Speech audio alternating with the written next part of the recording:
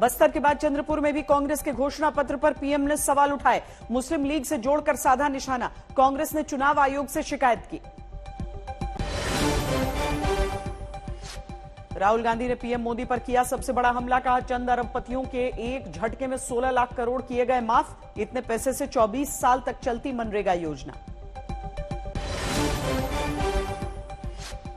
चुनाव आयोग के दफ्तर के बाहर धरना दे रहे टीएमसी नेताओं को दिल्ली पुलिस ने हटाया। केंद्रीय एजेंसियों के दुरुपयोग के खिलाफ कर रहे थे प्रदर्शन। CBI, IT, NIA, ED chief को हटाने की मांग। केजरीवाल की गिरफ्तारी को चुनौती वाली याचिका पर हाईकोर्ट कल सुनाएगा फैसला। सीएम के पीए विभव और आम आदमी पार्टी के विधायक दुर्गेश पाठक से ईडी की करीब चार घंटे पूछताछ हुई।